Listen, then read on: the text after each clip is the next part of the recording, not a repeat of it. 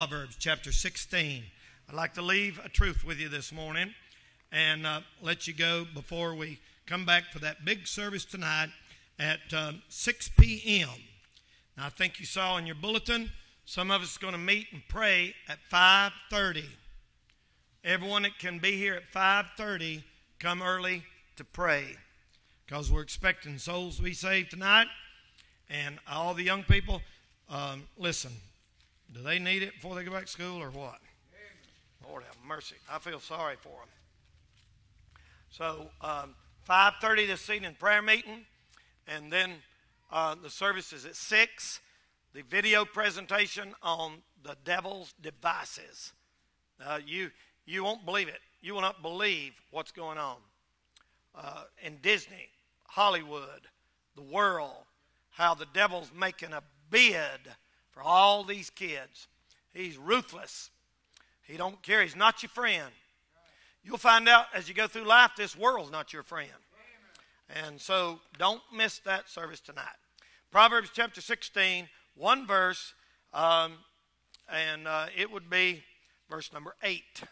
Proverbs chapter 16, verse number 8. Better is a little with righteousness than great revenues without right. Better is a little, you're better off with a little and being right than a whole bunch of stuff without being right with God. I'm going to use that little thought this morning and preach on the subject little is much if God is in it. And there's a song, I, I, I guess it's in this book. Uh, look it up for me, Chad. Um, I don't know if it's in here or not. It's not. Uh, it's not in here. But little is much when God is in it. Labor not for wealth or fame. There's a crown, and you can win it if you'll go in Jesus' name. That one of them verses says, "Does the place you're called to labor seem so small and little known? It is great if God is in it, and He'll not forget His own." That means this there is no such thing as a little work for God. I've heard people say, well, our, we just do a little, we just have a little church. There's no such thing as a little church if God is in it. If God is in it. Now, this morning, I want to take this little truth here and illustrate it from the Bible. Everything that a preacher preaches, he ought to be able to illustrate it from the Bible and back it up with the Bible. So, uh, God uses little things to accomplish great things. One of the things that I love about the Bible, uh, among many, and one of the things that I love about the Lord is He's always confounding the, pe- the things of this world that people are think are so great, and taking some little non important, insignificant thing and doing some big thing with it. The Lord's he, he, He's good at that. He does that all the time. And you know why He does that? So no flesh would glory in his presence. By the time you think, well, I'm a big shot, I can do great things, the Lord will take something little and do more in five seconds than you can do with a great thing in a lifetime. I'll never forget one time years ago, we had planned this big special day. And I, the downtown reverend, had a big message planned, and I was going to preach and we was going to have the choir sing, and we was going to have a big service up, up in Marion years ago, years ago. And we had people there from everywhere. It was packed full, and we was going, I just prayed and I said, now God, use this sermon. God, use this. Oh, Lord, it all depends on me, Lord. I've got to do good for you, Lord. Please use me. You know, and about that time, before I, I started preaching, there was a little girl who was crippled that come on the buses. She's sitting right over here on this section right here, and she stood up and said, Preacher, can I say something? And most people just looked at her like, Okay, kid, uh, what, uh, what, do you want? Let, what this, let this little girl say something. And, and they had that attitude, and she started talking. And when she started talking, the Holy Spirit fell on that place. People started crying. Somebody else over here said, Praise the Lord, hallelujah. Somebody else, and I mean, it just changed the whole atmosphere of that place. Look, she must have been nine or ten years old. And I, I just stood back in amazement. And I thought, you know what? God don't need no big shot preacher. God don't need a big shot, uh, a group of singers. God, and we better be glad of that too, right? And I'm glad of it. And God don't need uh, Dr. Bottle Stopper, who has more uh, degrees than a thermometer uh, behind his name, to use him. God can use a little child like that and do great things. The secret is if God's in it. If God's in it. You know the greatest thing me and you can do with our life, our singing, our preaching, our witness, and everything? Get God in our life. Get the Lord. You say, how do you do that? By seeking Him, by reading and praying and, and seeking the Lord. So this morning, let me illustrate that truth. Now, I'm going to do, give you some Bible stories with that truth in it. First of all, the rod of Moses. You know, God did not have to use that rod in the life of Moses, but He chose to do it. Little as much when God is in it. And so, you know what happened? Well, you know the story of Moses. I don't have time to tell the whole story. Moses had left Egypt there when he, when he, when he went out in the desert, and he was uh, a, a sheep herder, as many of God's men were. You'll notice that a lot of those men, hardly none of them were kings, none of them were dictators, none of them were big. There's always some guy here in the backside of nowhere taking care of sheep. That's the man God still calls. The people God calls into ministry is the people that are investing their life taking care of the sheep, his people. And, and, uh, and Lord uh, out there one day, and Moses was keeping his sheep, and he, had, he was out there. I'm going to use this little thing here. That might look be a, a shepherd's rod. And he's like that. And Moses out here, he had on them, them robes and everything way out there in the desert. And he was out there like that. And all of a sudden, Moses, all of a sudden, through this bush, and this, this bush was like that right there, and it caught on fire. And it started burning, just burst into flame, just like you'd throw gas on that thing and lit a match, burning like that, out there in the hot desert sun. And Moses said, Oh my, Lord, I ain't never in my life. One of them old college professors said that Moses was just out there in the desert and he saw the sun, you know, reflecting. Um, yeah, I mean, he's 80 years old in perfect health, and he couldn't tell the difference between um, he's 40 years old, or 80, and he, he couldn't tell the difference between the sun shining behind the bush and one that's burning. I think it was burning. And, and he said, he like that, and he looked at that thing like that, and all of a sudden a voice spoke out of that bush and said, Moses. Now, I don't know which would have shocked me the worst seeing a bush on fire that wasn't burning up, and then starts talking to you. And he said, Moses said, uh, Yes, sir. He said, uh, uh, I need you to do something me. I'm, I'm ordaining you into the ministry. And God said, and Moses said, Who are you? And you know what God said out of that bush? God said, I am. I am. And Moses said, What, what do you mean you am? Uh, you mean you was? No. You mean you will be? No, I am. What was you yesterday? I am. What do you be tomorrow? I am. He always am. God ain't was and will be, He's am. See, if, if you, you know, some of y'all can't get hold of that, can you? You know what? That with God, there is no time. He, God never says, I used to be this or I'm going to be that. He's always am. It's in present tense all the time. And, he, and Moses said, I've never heard nobody talk like that. You, you am what? He said, I didn't say I was anything. I said, I am. I'm, I'm, I'm God. And he looked at Moses, and you know what he said? He said, Moses, what's that in your hand? He said, That's my rod. Where'd you get that thing? Walmart. I don't know. Where shepherds get their, that's where they get them now, I guarantee it. Uh, Moses went down to the local Walmart and they had them all up there on stack all the way across through there. And he said, I want that one right there. That was no special rod. And the guy said, That'll be 1995. I don't know where they got them. Uh, but he, he, he, got them there, and Moses looked down there and he said, uh, It's just my rod, nothing special. And you know what? When that happened, the Holy Ghost went and got in that rod. And from then on till he died, that was a special rod. It was nothing till God was in it. And about that time, uh, uh, the Lord said, uh, What is that thing? He said, oh, It's just my rod. That ain't. He said, Throw it down. So he goes, And when he did that, the thing raised his head up like a looked like a cobra, man. And that thing started doing like that, like that, and the big old head went back like that. And and and all you could see is Moses' feet running down through the bushes down through there. I mean, he was running through the briar patch and blackberry bushes and, and everything. And you could see, and the and the Lord said, Hey, where you going? And he said, I, I'm, I'm, I can hear you fine right here. What do you want me to do, Lord? And the Lord said, Come here a second. Uh-uh, I can hear you fine. And the Lord said, Come over here. And Moses said, Look, I, I ain't getting near that thing. You know what the Bible says, and it ain't been wrote yet, but when I write it, I'm going to put this in there. The only good snake is a dead snake. And the Lord said, Come here a minute. Let me talk to you. So he kind of tiptoes back in there, and there's that thing there, that big head sticking up like that right there, that thing turning around. Moses comes around here like this, and he's kind of easy around here like that. And he says, uh, Yes, yes, sir. What do, you, what do you want? What do you want, Lord? And the Lord said, Pick it up. He said, My mama didn't raise no fool. I ain't picking that thing up. And God said, Pick it up.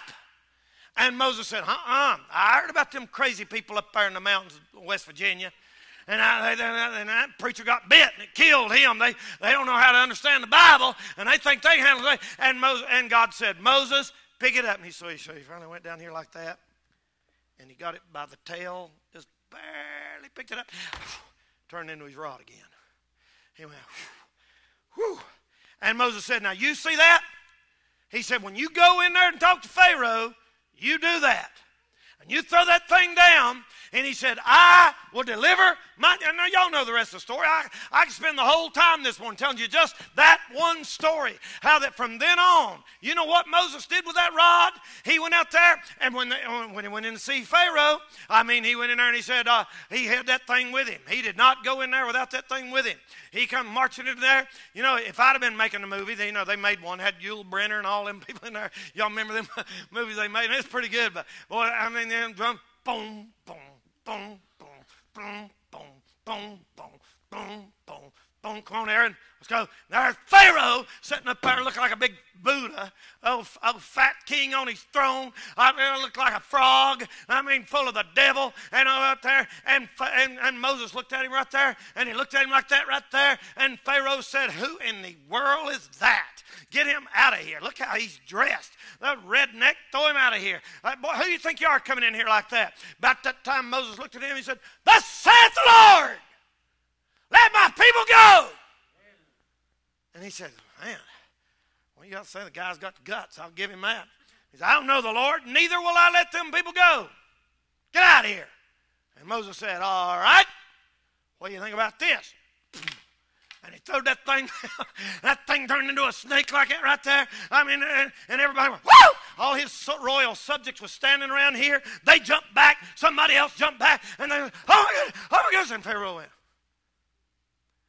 He looked down there. Then they had a commercial. No. Uh, that's what usually happens in them. And they, and, and, they, and they do that so you'll, you won't turn it. And they come back in there and they look down and they look down like that. About that time, Jannes, one of his deacons, come running from over here. And Jambres, the other deacon, come running from over here. And they whisper, they're, they're in Timothy if you don't read your Bible. Jannes and Jambres. And they come out. He said, Really? I said, Yeah, man, we can do that. You can do that too? Well, do it. they said, Hold on a second. We got to get we got to get the power on us. So they go over here and plug their headphones in. I didn't turn on here. They said, before we can do this miracle, we have to get the power. And and they go and and and they go boom boom pop boom boom pop boom boom pop boom boom pop boom boom pop boom boom pop. We can do it. We can do it. We got the power. Moses got his power from God. They got theirs from the devil. Right? Y'all, you're staying with me, right, kids? Y'all got that, J man?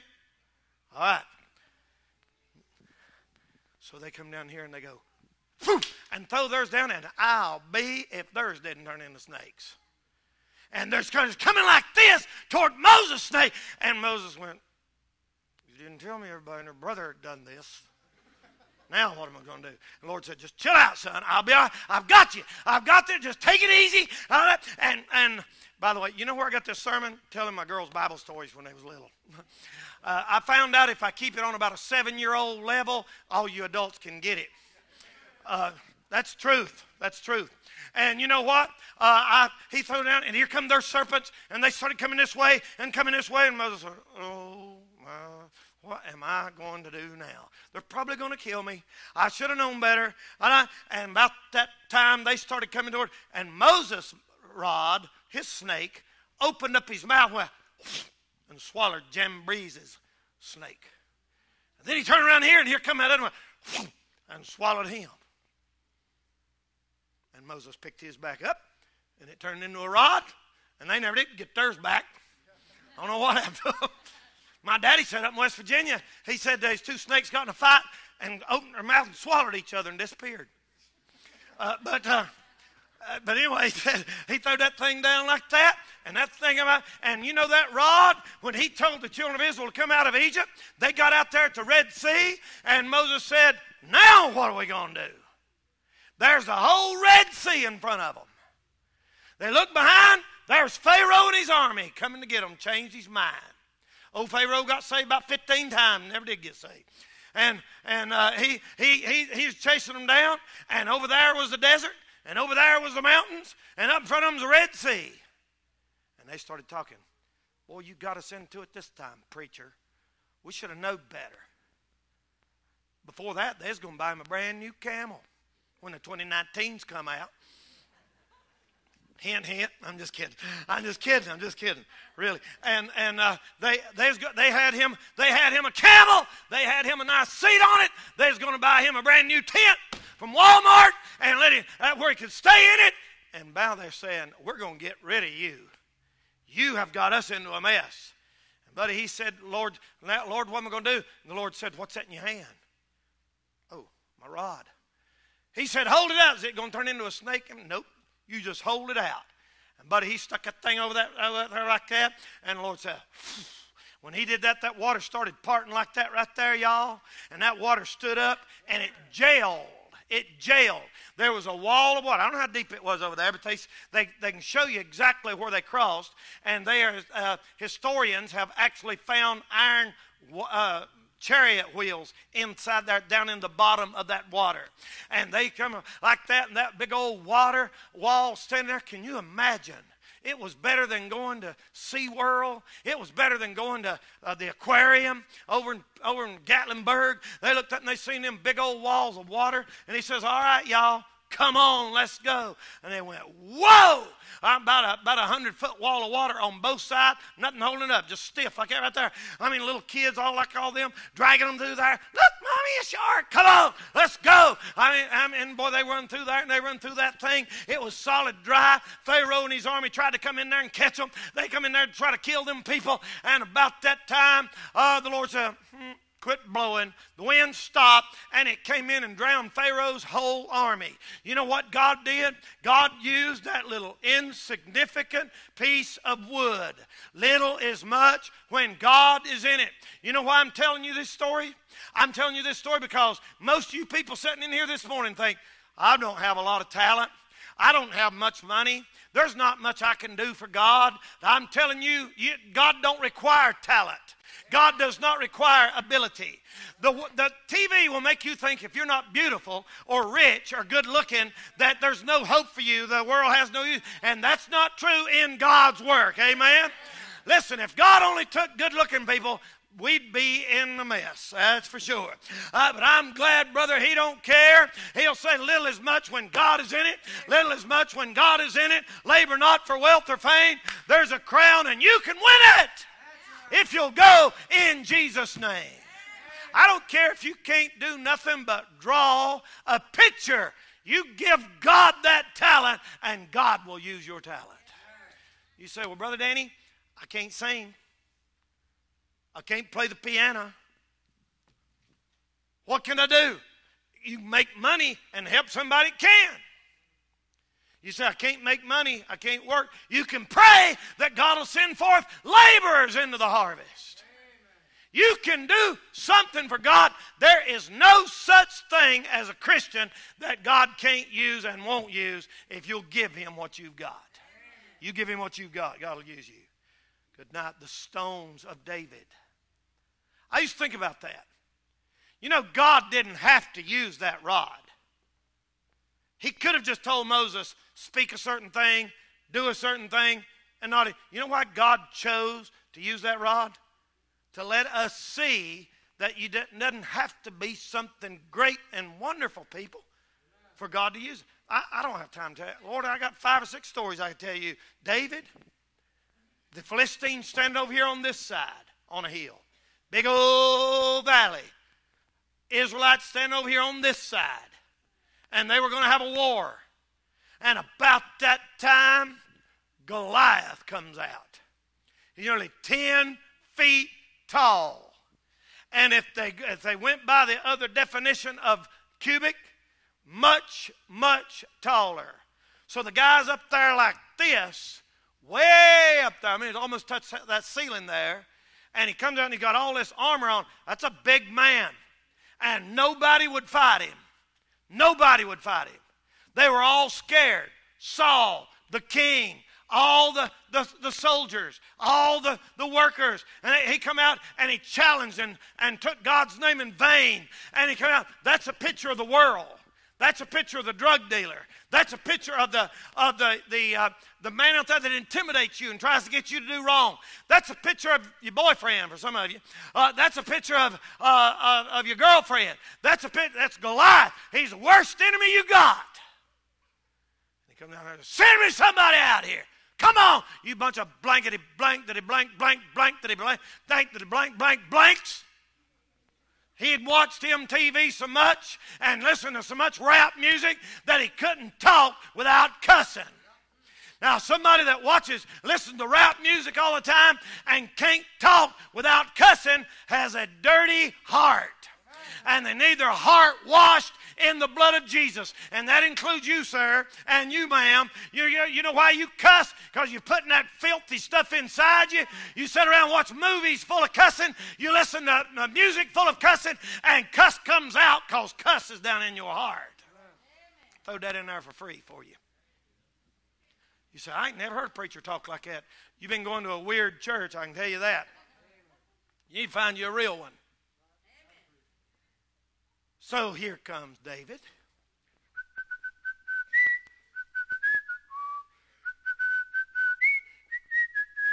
You know that song. Only a boy named David, only a little brook. Only a boy named David, but five little stones he took. Only a boy named David, only a little sling. Only a boy named David, but he could shout and sing. And one little stone went in the sling, and the sling went around and around. You know that song? Well, you've been going to church wrong for some weird churches. Uh, that's a kid's song. And David comes out and he says, Who in the world is that? They said, Shh, that's Goliath. Don't let him hear you talking about that. He said, Did you hear him? He cussed God. He cussed God. Why don't somebody go over and knock his brains out? And they said, David, you shouldn't be so judgmental. We should be loving and accepting. He said, You guys been listening to Joel Osteen. I've been reading my Bible. He teacheth my fingers to fight. That's what my Bible says. I'm losing some of y'all. Uh, you got to grow up sometime. Might as well do it this morning. And they said, and David said, Did you? Well, look at what he said. He said, Now, David, they have their beliefs and we have ours. I mean, he believes in Allah, and we should be more accepting and kind of, after all, we're going to the same place. He said, No, we ain't.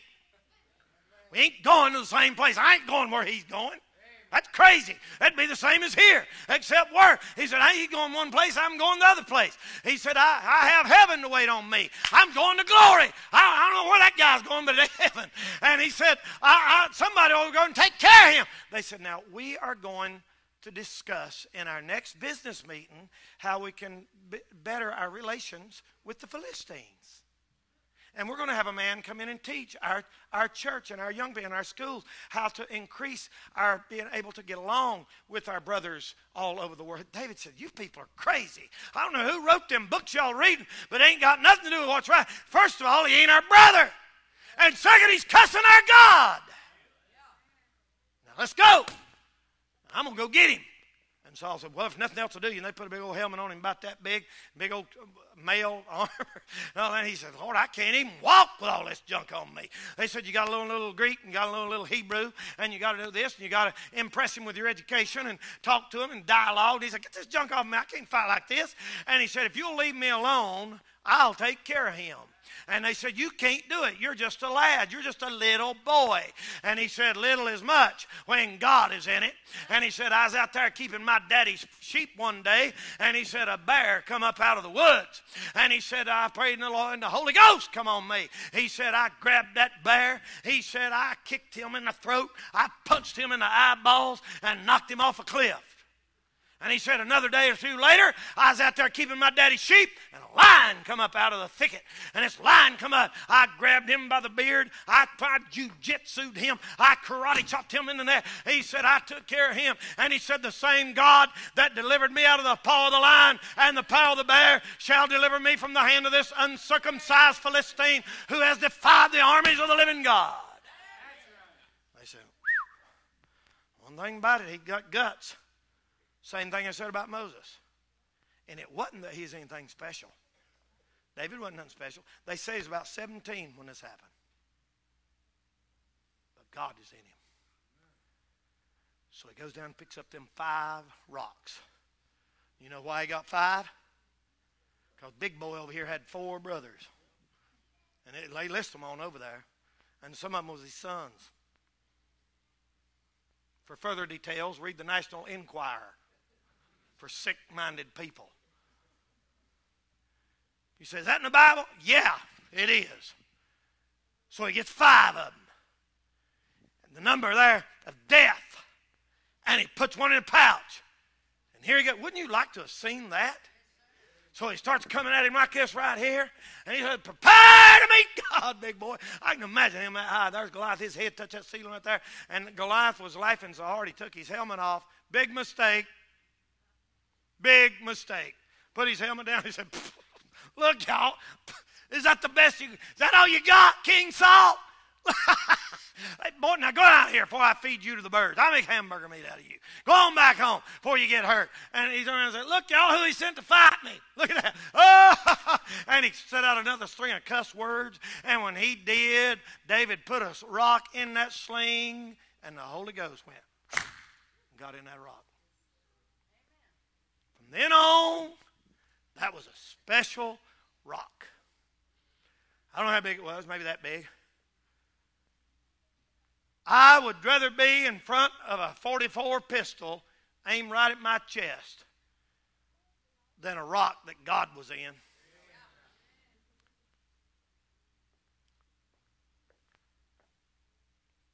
So, he took it. He begins to sling. The giant's laughing. He let go of that thing. He couldn't miss. The Holy, I mean, it's like, you know, it's like one of them laser things they do in, in Iraq and stuff where they got the laser on it. It came and bam, that rock went out of there. Goliath standing up there 10 feet tall. Son, that thing sunk up in his forehead. Lord have mercy. That poor fellow didn't know what hit him. He come tumbling down. Bigger they are, harder they fall. He went down. David went, jumped up on him, grabbed his sword that he couldn't hardly lift, and goes whack and cuts his head off and pulls his big old nasty hair that ain't been washed in six months, and he pulled it up like that, and he looks at it. Uh, now, what, what was you guys saying about him blood running out of there and everything? And the Philistines took it and went, oh my goodness. And the Israelites said, Woo! Great is our God. And they won the victory. You know why? It wasn't because of a sword. They didn't have tanks. They didn't have missiles. They didn't have guns. They had little was much because God was in it. We're living in a day that is uh, celebrity obsessed. You got to be a celebrity to do anything. You got to have four college degrees before anybody listens to you open your mouth. That's not the teaching of the Bible. Little is much when God is in it. Labor not for wealth or fame. There's a crown and you can win it if you'll go in Jesus' name. I believe I'm talking to some people this morning that need to hear. One, one woman in the Bible one time said, these people casting a lot of money in, and this widow put in all the money she had. And you know what the Lord said? She put in more than anybody. They said, Lord, she put in $2. They put in 500 And he said, she gave it all. They only gave a little percentage.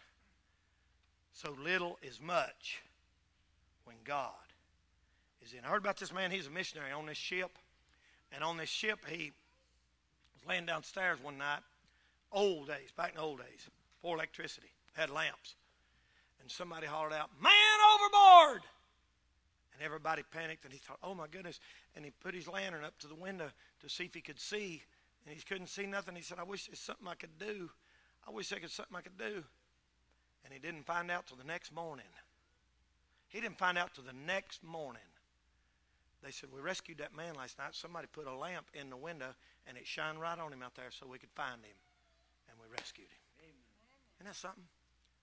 Just a little putting that. You don't know what you just letting your light shine one little time. Amen. One kid. If you think about this, if you just say you went somewhere this evening, brought one kid to that youth service tonight, and their whole future has changed and eternity. And all you did just call them and invite them and go by and pick them up. My whole life was changed because of one church service. I've never been the same since. I was 18 years old. I was going the wrong way, let me tell you. And all the people that I've seen saved, all their futures changed because of one church service. Don't ever, ever, ever think there's oh it's not important. We don't we don't usually go. So, you know, we just stay home. Uh, don't don't think like that, y'all. Every time we walk in here, every time you pick up that book, every track you give out, little is much when God is in it. I thank the Lord. Somebody prayed, somebody fasted, somebody brought Holy Ghost revival to Nebo when I was 18 years old, buddy, and I'm standing here preaching this morning because of it. It wasn't a famous preacher, wasn't a famous singing group. There was a woman up in Nebo that fasted six days and nights. And an old preacher come to town that got up and prayed every morning, 4 o'clock in the morning. That's how I got saved. You know what? The world think that ain't nothing. But little is much when God is in it. Let's stand by our head for prayer. Every head bowed every eye closed. Our heads are bowed, our eyes are closed.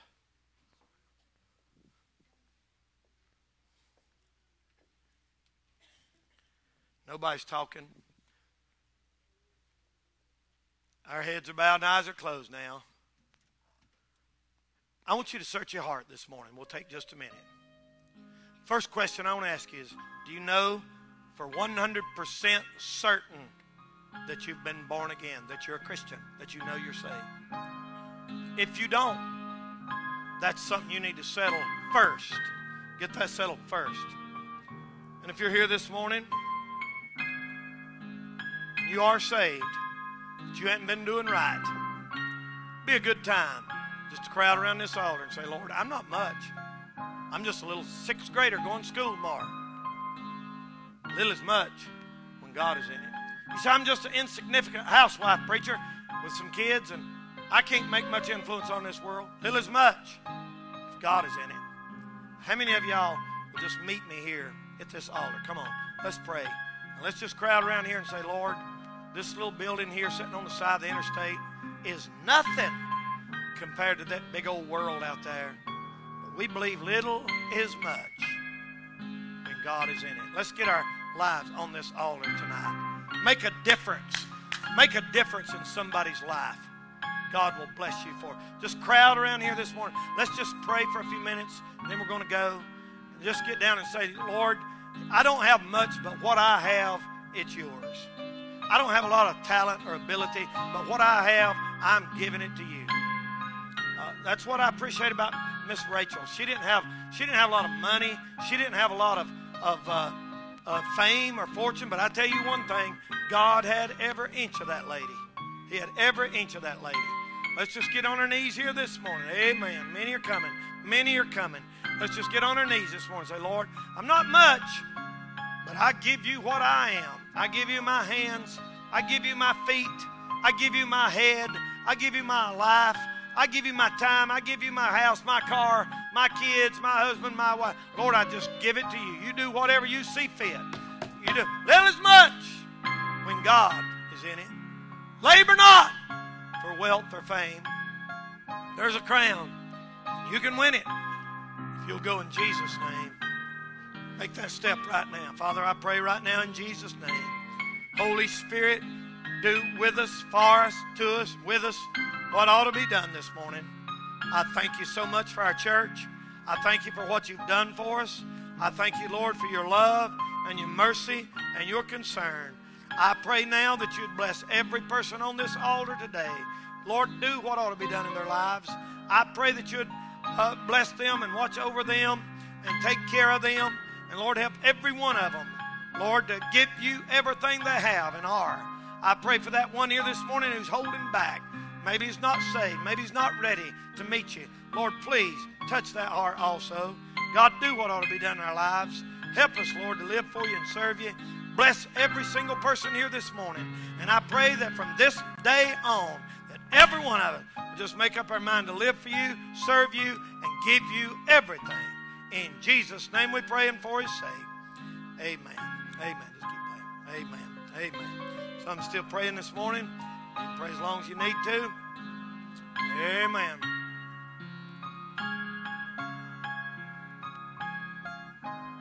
Amen. Some of these folks got a long drive ahead. About 12 hours, more, 14. Some's already traveling. Little as much. God, you know what you need to do? You give God what you've got. That's all He asks. He don't want you to give what you ain't got.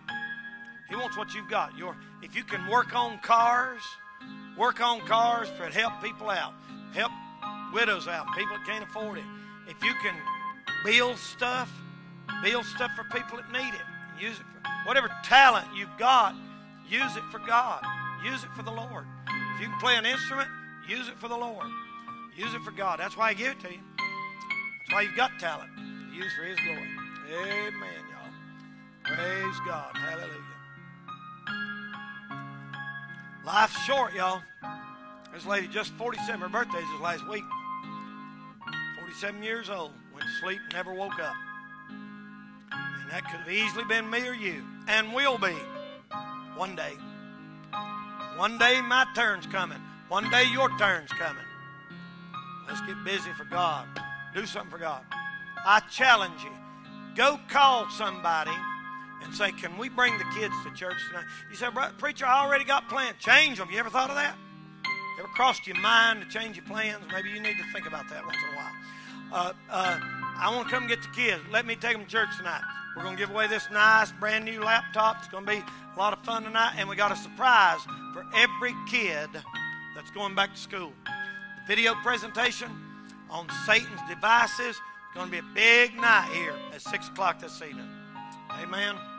So don't, don't, don't dare, don't dare miss it. Amen. Isn't that a blessing? Isn't that a blessing, y'all? Amen. Y'all pray for Opie and Amanda here. Lord, just bless them. She's only 22 and he's only 15 and then lost mom. So y'all pray for them. Back in Florida, the Lord just have them. Okay? Amen. Amen. Be sure and speak to these family before you go. Amen. Amen. All right. Now we're going to switch gears tonight. It ain't going to be just fun and games tonight. We're going to have some fun, but it's going to be hard, rough tonight. Every kid in Burke County needs to see and hear what we're going to have here tonight. Uh, uh, be maybe changed a little bit from the youth rally, but it's how Satan is at work. You know why we have so many